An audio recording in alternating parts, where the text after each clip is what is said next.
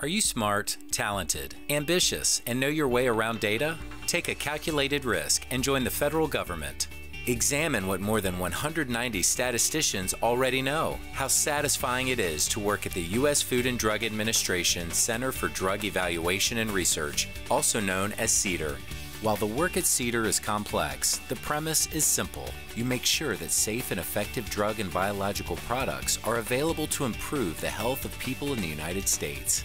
Statisticians are essential in the drug and biologics development and review processes because they ensure the validity and accuracy of findings at all stages. This type of work is indispensable for protecting public health. And like all federal government agencies, CDER offers vacation time, health care, 10 paid holidays, retirement savings, and insurance plans. Other special benefits include flexible workplace arrangements, training, on site childcare, and an on campus workout facility.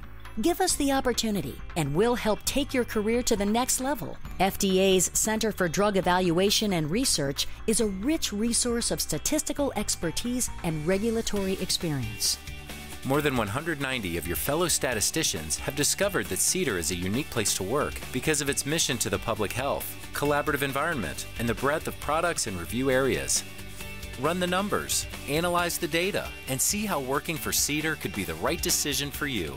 To join FDA's Center for Drug Evaluation and Research, go to usajobs.gov and search FDA slash CDER to see a list of available openings and required qualifications.